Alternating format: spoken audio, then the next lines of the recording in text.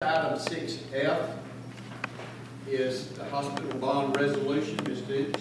Thank you, Mr. Chairman. Good evening, Commissioners. Forgive me for reading, but the legal language of this is pretty specific. Um, The hospital authority issued revenue certificates in 2001 and revenue refunding certificates, I'm sorry, 2011. And revenue refunding certificates, see what I mean about being legally specific. In 2019, to refund the 2011 certificates, the county entered into intergovernmental contracts with the authority providing additional security for certificates. The hospital authority is now issuing not to exceed 140 million revenue certificates to finance improvements and construction of South Georgia Medical Center, including women's, infants, and emergency trauma services.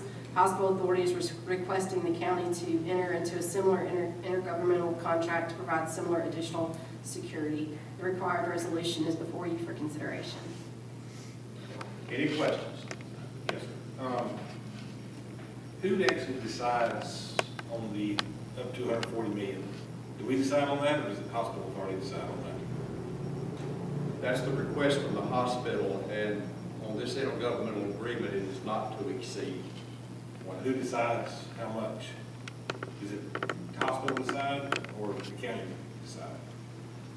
The ultimate, um, if you look at the contract, there's a blank for the, uh, on page one, for the final amount, so that will be decided by both the hospital and the authority when that proposed final amount is determined. Okay.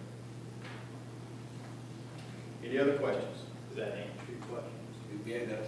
I just wanted to make sure we had, anyway, yeah, that, that answers my question. Any other questions? Hearing none, I'll entertain a motion. Motion, motion to approve. We have a motion to approve. Do we have a second? Second. We have a second. Any discussion? Hearing none, I'll call the vote. All in favor signify by aye. aye. Any opposed, like sign? Hearing none, the motion carries.